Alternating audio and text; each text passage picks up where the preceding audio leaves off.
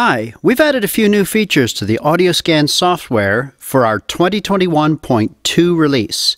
Today we're going to quickly cover what's new for Verifit 2, Axiom, and the AudioScan Noah module.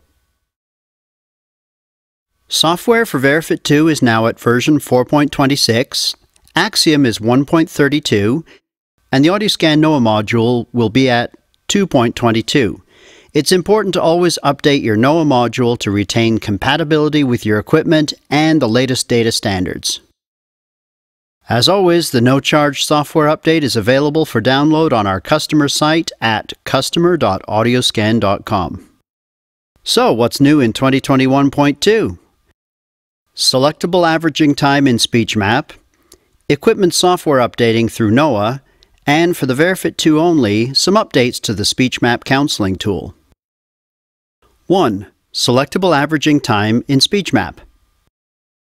When performing measurements in SpeechMap using a calibrated speech stimulus, the middle LTAS curve, which is used to match to target, and the 99th and 30th percentile curves are visible during the initial looping portion of the test. To obtain the actual measurement requires you to click on the red record button and wait for the averaging, which takes approximately 13 seconds. Some people like to let the speech run in the loop mode and make gain adjustments in the hearing instrument fitting software simultaneously. However, this can be difficult as the curves are moving quite quickly. This new feature for Verifit 2 and Axiom allows the selection of a slow averaging time for these live curves. This will slow down the display somewhat and make it more feasible to do some gain adjustments to target while the stimulus is still looping.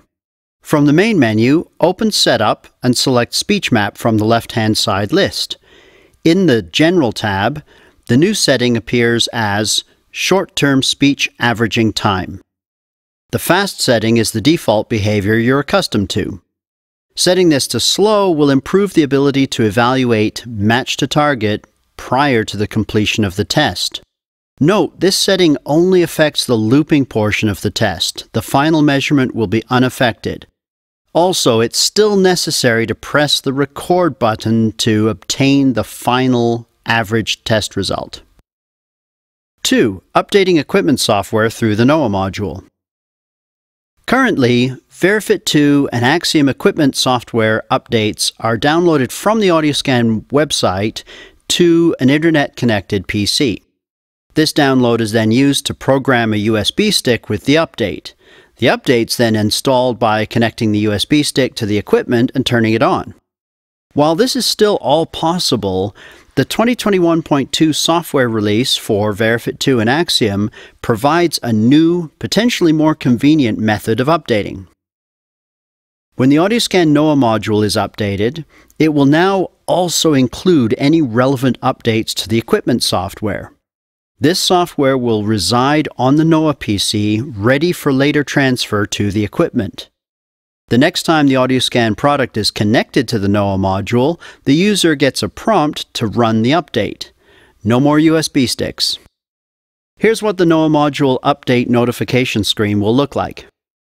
First, we have the Noah module software version. In this case, the installed version on the PC and the web upgrade, which is the latest available version, are the same, so no action is required.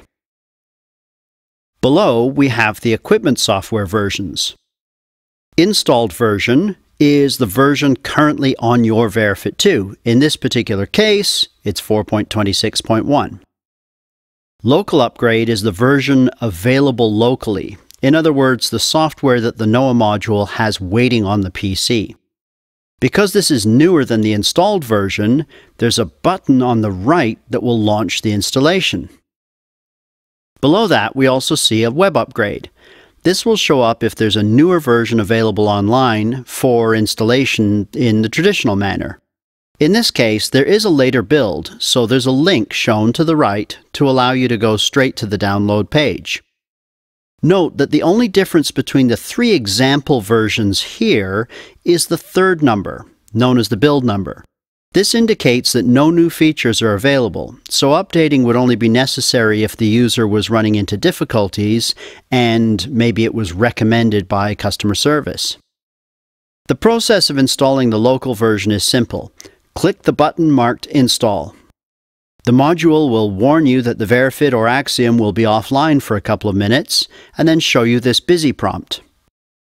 The equipment will also display a prompt showing that an update is taking place. Once this is finished, the unit will reboot automatically and be ready for use with the new software update. In the AudioScan Noah module settings, there are a couple of items you should know about. Unchecking this box will prevent the Noah module from automatically looking to see if there are new software versions available, either online or local software on the PC. Clicking over here will manually cause the connected module to check for updates. Even if your PC was not internet connected, clicking here will let you know if there's an equipment software update available locally.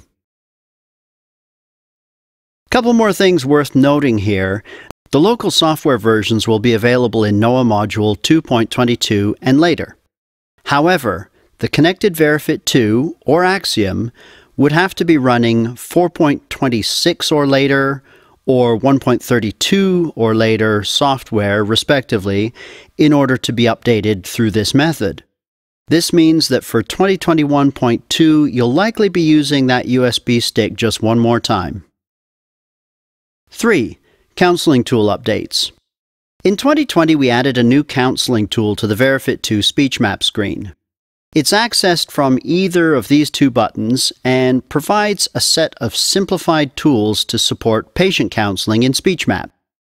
In the 2021.2 software update, we've made some enhancements to this feature at the request of our users. Once launched, the counseling tool can display data pulled in from SpeechMap, along with a series of overlays. These are organized into three overlay groups Hearing Test, which deals with the severity of the hearing loss, Hearing Range, to support discussions around reduced dynamic range, and Hearing Aid, which brings the aided and unaided speech spectra into the picture. The most noticeable change here is that all three overlay groups are now available in a dual binaural view. It's possible to select between the single and dual view using this button in the center row. In all three overlay groups, it's also possible to display the common speech sounds, which approximates the spectral positioning of various phonemes. In the initial release of the counseling tool, these were always assumed to be based on 65 dB average speech level. This new update adds the ability to select the soft, or loud speech sounds as well. As you can see here, the arrangement of the speech phonemes changes based on input level. This also accounts for the loud vocal effort shaping used for loud speech. Finally, one last tweak to the counseling tool. In each overlay group, the clinician is able to turn on explanatory labels for the elements on screen to aid in the counseling conversation.